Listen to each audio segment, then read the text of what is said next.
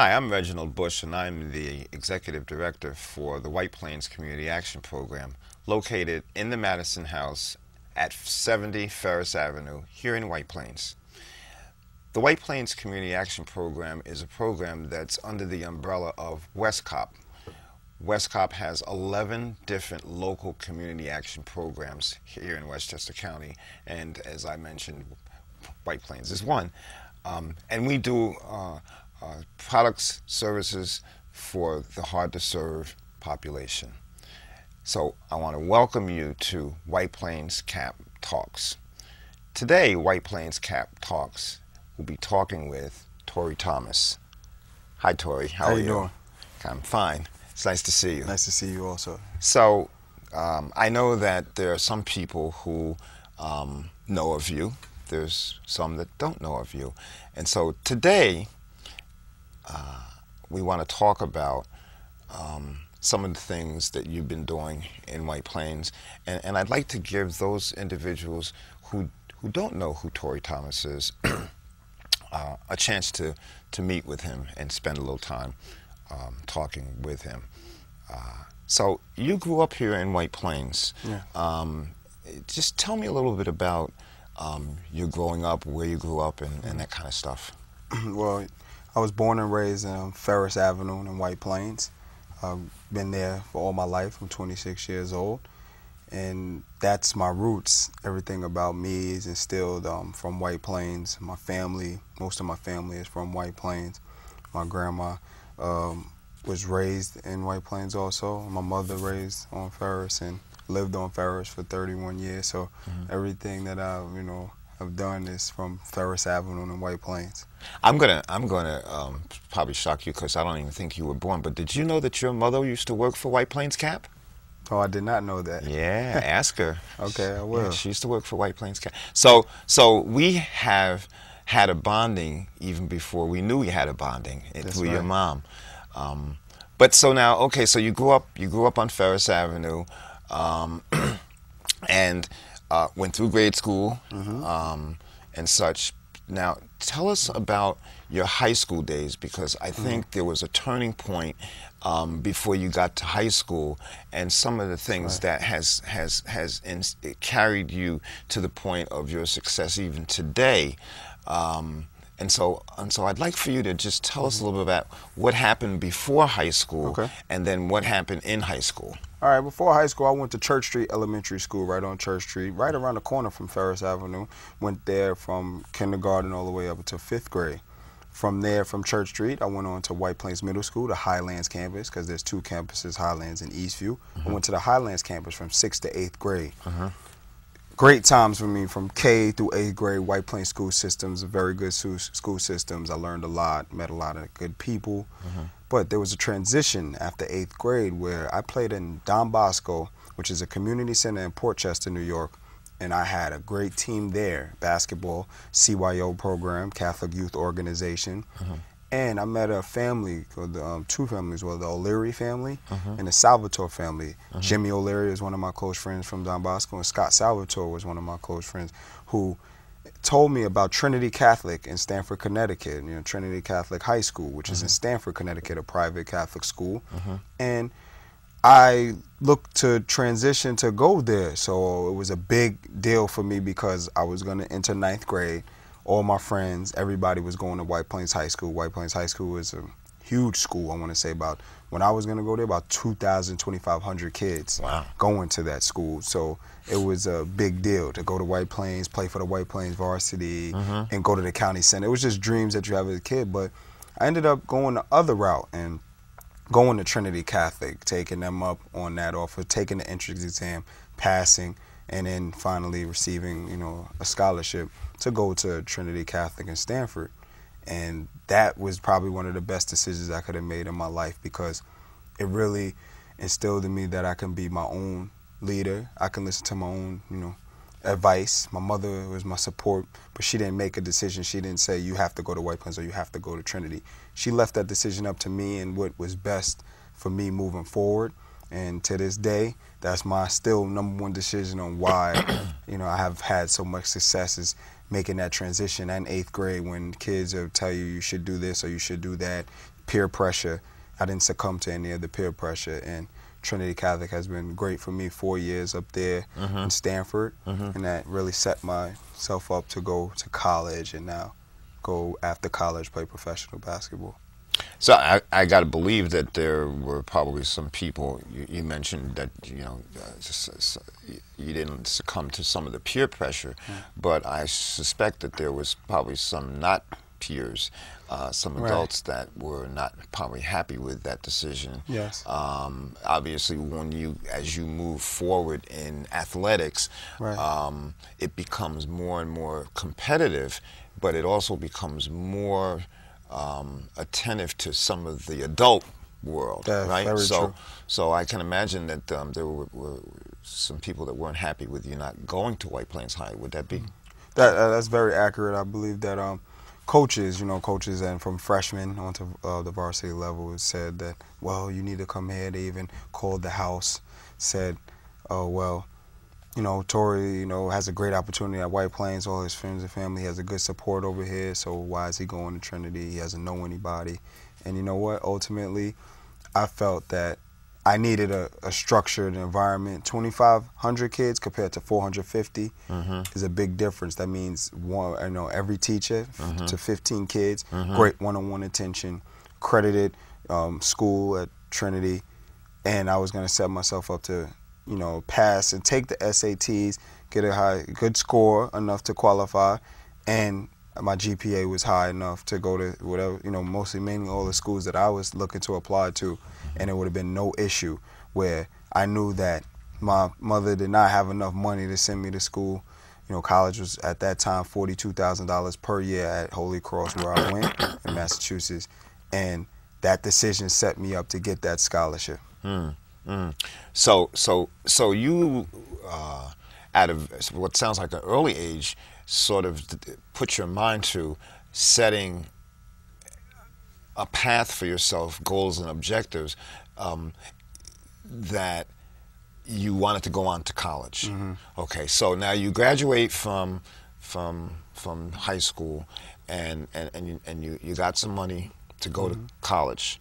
I believe you got a little more than money yes. to go, right? You got you got you got sort full of scholarship, yes, right, um, and to play basketball right. for Holy Cross, yes. And now, for those that don't know, where is Holy Cross at? Yeah, Worcester, Massachusetts, which is right outside of Boston, 45 mm-hmm. minutes outside of Boston, mm-hmm. Massachusetts. So mm-hmm. uh, about two and a half hours from White Plains. Mm-hmm. So it's a nice ride, mm-hmm. um, easy to get to right off of 684. Mm-hmm. Uh, you could go several ways, but nice ride. Up, up 91? Up 91. yes, yes, plenty yeah. of ways. Yeah, yeah. Plenty of ways to get there. So, so I was. Um, I've seen a couple of posters and such, uh, you know, with with you uh, dressed with Holy Cross. So tell us a little bit about your experience at Holy Cross, um, and then we'll get to what you're currently doing.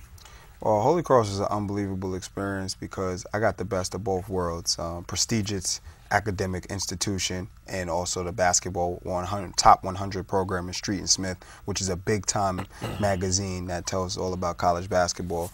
We have Hall of Famers, NBA and college Hall of Famers of you know Bob Cousy, Tom Heinsohn, Togo really? Palazzi, yes, that played in the NBA, Jack the Shot Foley. See, I, am big on history too, so when I know about that, they from them years they dropped off on the national level of, of basketball mm-hmm. and they rose their academics very high. Mm-hmm. But the basketball level we call the mid-major D1, which is mm-hmm. right under the majors, and we had a chance to go to the NCAA tournament.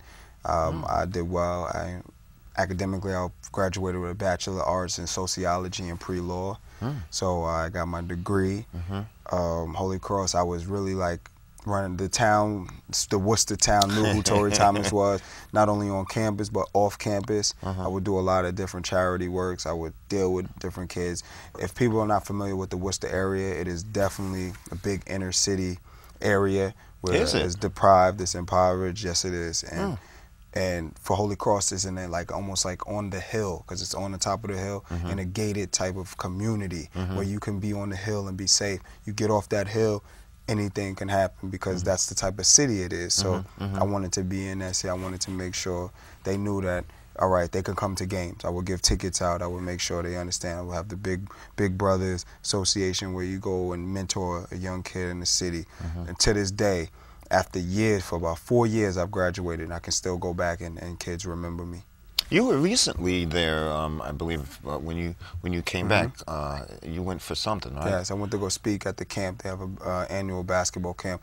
Milan Brown is the head coach right now. Mm-hmm. Uh, he's the head coach of the Holy Cross men's basketball team. He mm-hmm. invited me up to speak at the camp. Mm-hmm. At least I want to say 300 kids, 400 wow. kids I get to talk to, and, and for about an hour, talk, demonstrate drills, let them know about my story, mm-hmm. where I where I was, where I come from, and that this is a special place to be at. Holy Cross was special because it has a lot of history, a lot of tradition.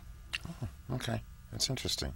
So okay, so so so you do this four years at, at Holy Cross, and um, and you, you you walk across the stage and you yeah. get your degree, and so and so what happens then? And was and and and was there at at that time because I'm getting the sense that that that from a very early age you had some calculations in your head as to what it was you want to be when Torey Thomas right. becomes the adult Torey, Torey Thomas. Yes. So so so tell us about you know what was in your head and, right. and, and, and, and, you know was there was there sort of this goal that you were setting yourself to to, mm-hmm. to obtain um, because it certainly seems like you went from I'm not going to go to White Plains High School I'm going to have a better opportunity financially for my mother's sake to get into college I'm going to have a better opportunity at going someplace else doing well, and that's going to set the stage up for college, which it seems like it did. And and now you're in college, and now you now now you you've graduated. So so was there a plan and goals, objectives of what you're trying to get to? Yeah, um, definitely had a plan. Like I said, since eighth grade, when I realized that basketball can take you many places, opportunities can be opened up if you become, you know, smart, diligent, and mm-hmm. persistent in what you do. Hard work was always something that I really pride myself on, and mm-hmm.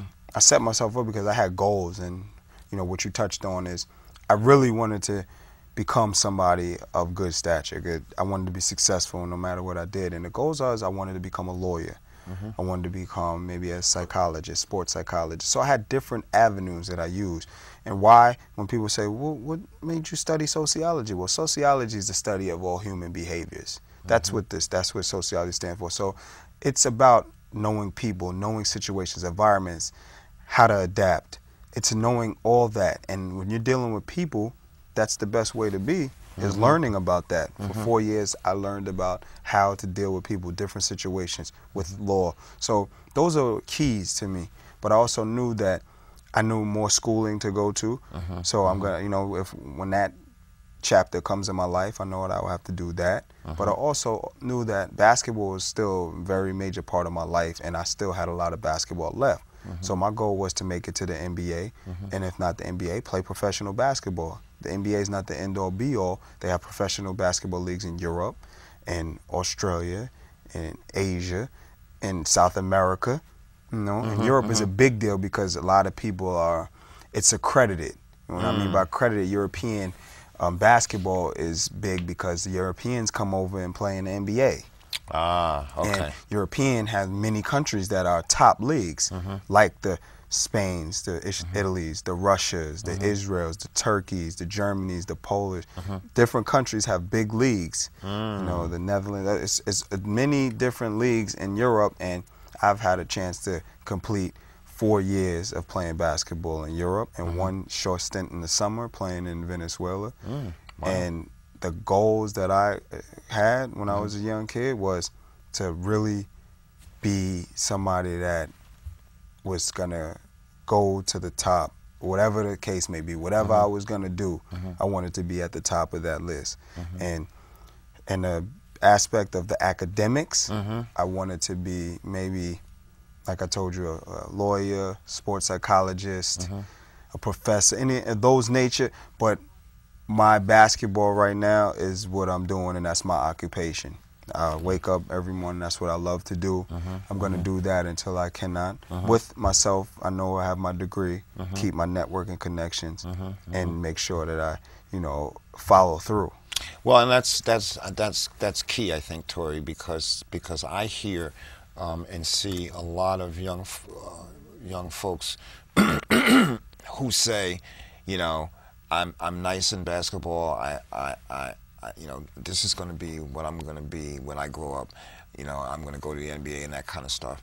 And let's face it, um, um, there's very few people that make it into the NBA. I mean, when you look at the draft every year, you know, I don't know how many there is, but there's certainly, you know, on hundreds of thousands, of, you know, of, of people that are entering into the NBA. Um, and even to some degree, um, in the European League, maybe it's a little more um, flexible with with the number of people that are able to enter. But I always try to tell young folks that that that has that, and not just with with basketball, but sometimes we hear young people talk about, you know, getting into the music business, rapping, and that kind of thing. That that's fine if that's what you want to pursue, but make sure that you get your college education. Make sure you get your degree because you never know what may happen because, you know, so you're you're at the top of your game in basketball, and not you, and God forbid this, but but you get hurt. Mm-hmm. You know, now you're hurt, and maybe it's a an, an injury that you you you know you're not going to be able to to ever overcome, right? So now what do you do? You know, if you don't have a college degree to fall back on, and those networking kinds of things. So that's why young folks out there that that might be listening, you know, please, please, you know, study, get your get your degree.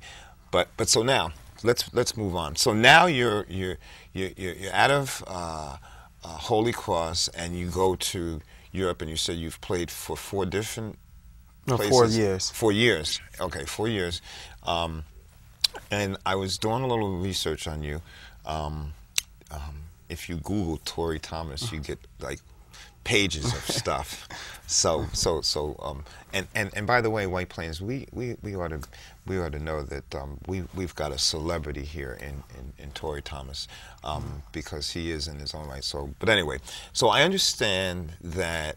Uh, you were at the top of your game last year, or this this season, this past season, um, and did very well, and uh, actually was selected as MVP. Yes. MVP. So, you know, like going back to tell you where I've played in, I have played in Sweden, France, Turkey, the Netherlands, which is also known as Holland for two years, and Poland.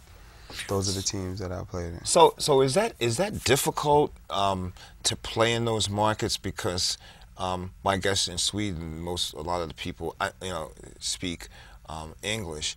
Um, I, I know, for example, in Italy, I've been to Italy. you know, not everyone talks English. So is that a is that a barrier for you coming from from from from White Plains? New York, the United States of America, going to these places with with teammates, with coaches, with that kind of. I mean, how is that? Oh, that's definitely a barrier because uh, communication is essential. It's the key to everything. Communication on the basketball court, communication off the basketball court. But it's not something that is going to hinder you if you're not going to let it. Mm-hmm. You can try to pick up on the language. You can mm-hmm. take classes. You can have a translator, which all, all teams have a manager that speaks fluent English, so they mm-hmm. can help you with that. Oh, okay. And people in shops speak English, or you can a lot of sign language pointing mm-hmm. and mm-hmm. making sure that you get the job done. So I wouldn't let the language barrier. It is a barrier. Don't Yeah. don't, don't don't get me wrong, but Right. it's not something that's gonna, you know, hold you back from going over there and, and having a great experience. So I ended up getting yes the MVP of the Polish league this season. Nice, and the top league in. Poland. Thank you. Yeah. And that has set me up to uh-huh. take uh, a job in Russia this. Russia. Yeah, so I'm off to Russia this this next So season. soon. So so so so by the time you see this show, um, my good friend Torey will have gotten on a plane and and and did. Uh, 18 hours to, Right. to to the corner of Russia. Is that right? That's that's true. Are you excited? I'm very excited. It's a different experience. I've learned about many different cultures, and I'll get a chance to learn about the Russian culture, Russian uh, whole ethnicity, uh, the whole country. I'll get to see because, like you said, it's an 18-hour plane ride. I go from JFK to Moscow, Moscow to Vladivostok. Wow. Vladivostok is on the corner, like you said, of Russia, the tip of Russia, Uh-huh. Yeah. right next to China, Yeah. and one ferry away from Japan. So Wow. I'm literally nice. going to be 15 hours ahead of New York. I'm coming to visit. Eastern Standard Time. I'm You're coming more to than visit. welcome. I've been, I've been, I've been to Europe several times, but I've not been to Russia. So I might have to take up, take you up on this offer since you'll be there, uh, and and and it'll be my opportunity to, to visit Russia. Well, that's that's great. Congratulations, and Thank we you. we wish you all the luck um, there. And um, you know, uh, I know that you and I are going to stay in in, in contact uh, while you're away. Um, so so, but let me also turn these last few minutes um, to the attention of, of what you've been doing since you've been here. Um, and uh, and you're wearing this thing, that New York Blaze Right. shirt. So tell us tell us what New York Blaze is and, and, and what that's all about. Our New York Blaze Athletic Club is a program based on youth from 8 to about 18 years old. We are a non for profit organization, 501c3, mm. that caters to kids in um, White, we in White Plains, based out of White Plains on Gardella Park, Ferris Avenue, because that's where I'm born and raised. But we have kids from all over, mm-hmm. all over the tri-state area. Wherever you come from, we accept them all. Mm-hmm. But we have a program to mm-hmm. promote the betterment of these young individuals. We use basketball as the tool that we use because basketball is my passion, and a lot of kids really view basketball as something major. So uh-huh. they that, that tool enables them to give them opportunities, and we we go by the motto of life skills through sport.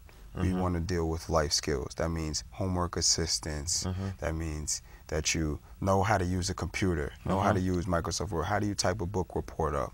How do you go into the library and search for books? How do you search for botanicas and, and encyclopedias uh-huh. that you need to finish projects, doing research, things of that, uh-huh. going camping, not uh-huh. just basketball, learning how to do certain skills that you need for everyday life, simple things that can get you by. And basketball is used. So, life skills through sport, New York Blaze, athletic club. We have a, a good surrounding. We have an annual basketball tournament for high school kids, which is called the New York Blaze Invitational Tournament, mm. which was sponsored with White Plains Cap this year, the first time, uh-huh. and it was just a beautiful event. Uh-huh. It's a we were glad to do that. Yes, it was. It, people really um, enjoyed the event. Mm-hmm. White Plains Cap was proud of the event because they got to see an event put on, mm-hmm. and mm-hmm. they felt that that their sponsorship went to a good cause. Well, it absolutely was. Um, you know, prior to me personally meeting you one on one, we conversated quite a bit uh, through email across the pond to you, and um, and and it became very clear that this program. Um, of the New York Blaze was something that, that you and I shared a common interest in.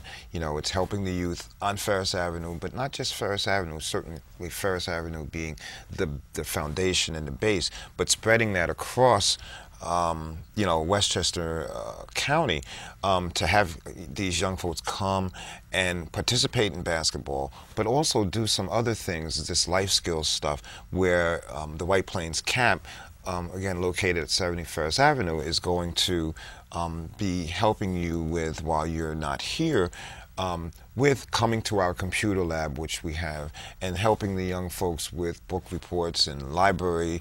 Um, I've, I've, I've got a collaboration going on now with White Plains Library um, that's also going to help this whole life skills thing Yeah. that, that New York Blaze um, um, has been doing for the last five years. Um, and so we are just very excited about um, partnering and helping you take the New York Blaze program to, to, to its next level.